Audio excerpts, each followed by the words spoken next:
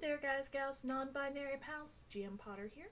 Welcome to my channel where I review books and bookish things. I post on Thursdays and alternate Tuesdays. So please, if you like what you see, feel free to subscribe, like, and share. And today we are getting into Season of the Bruja by Aaron Duran and Sara Soler. Now this book is absolutely beautiful, thoroughly engrossing.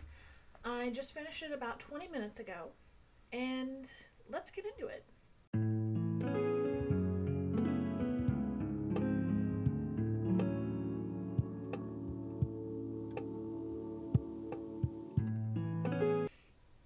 So, this book deals with Az- Mexican American, particularly Aztec American culture and the magic sources.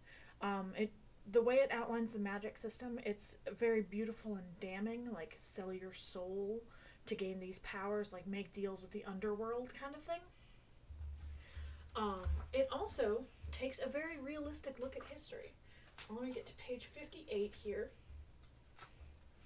which is kind of in the middle.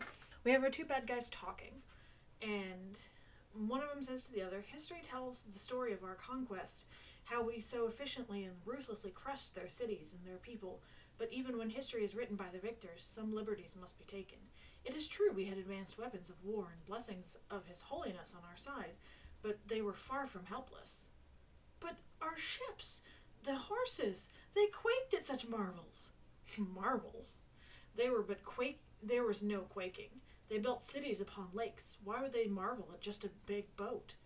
Like, I love it. It's like when we learned about the conquistadores when I was in middle school and high school, I thought they were the bad guys. Like, they were presented in the history books, maybe not by my history teachers, but in the history books as the conquering heroes. They brought civilization to the savages.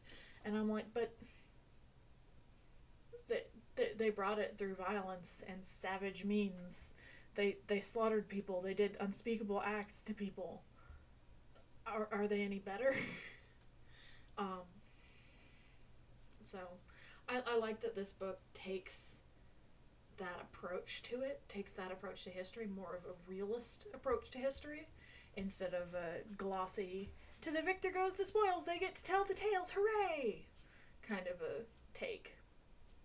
So, it's really cool. Like I said, it's beautifully illustrated.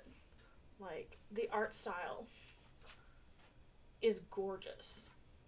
Like, I love the art style.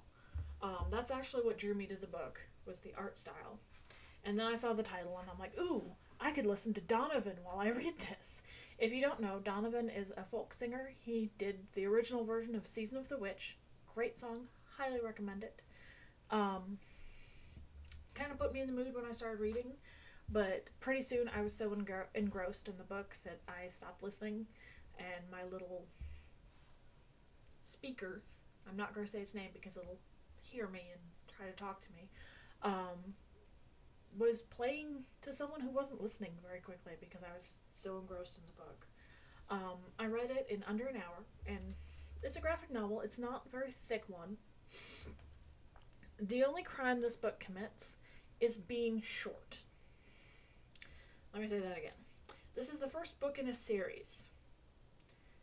I wish they had taken the first couple books and brought them together into one book and released a thicker edition that was multiple, like an omnibus. I wish they had done an omnibus first instead of doing these little episodic books. Um, will I be reading the next one? 100% yes. Will I be pre ordering it as soon as I find out what it is? 100% yes. Do I give this book five stars? Should you read it? Yes, yes. Please do. Yeah, it's got themes of family and tradition, death and loss, which are very universal themes. Um, it was very easy for me to identify with the characters and get into the story. Uh, it's extremely well written. It's beautifully illustrated. Yes, you should read this. Um, have you read Season of the of the Bruja? Uh, let me know in the comments down below. Forget to like, share, and subscribe, and I'll see you in the next one. Bye.